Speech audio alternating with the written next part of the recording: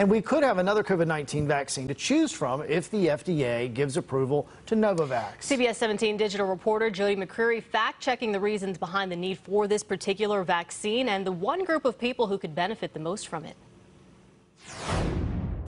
Reports this week point to holdouts who say they'd actually get the Novavax shot because of the way it's made, even calling it a silver bullet. But I spoke to doctors who wondered if that group is even big enough to make a difference if this can help move a few people across the road to get to get a dose, then we're all better for that. There's one thing that's drawing some skeptics to Novavax, how it's made.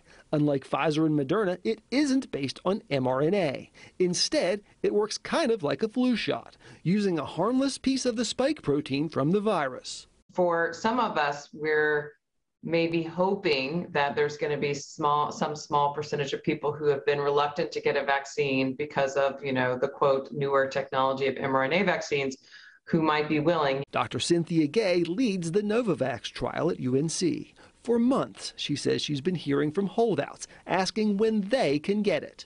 If you add up all the emails across all the investigators in all the different states and who've been doing these studies, maybe it's enough to make some difference. How many are there? It's hard to say. But we do know 19% of people across the country and 31% of those in North Carolina are eligible for the vaccine, but have yet to get any doses. It's a little hard to, to get a sense for how much that's really going to do. But, you know, I think at this point we'll take um, you know all the additional unvaccinated people that we can get vaccinated as a as a victory. And there's one big reason why this vaccine could make even more of an impact in other countries. Dr. Gay explains what it is in this story online.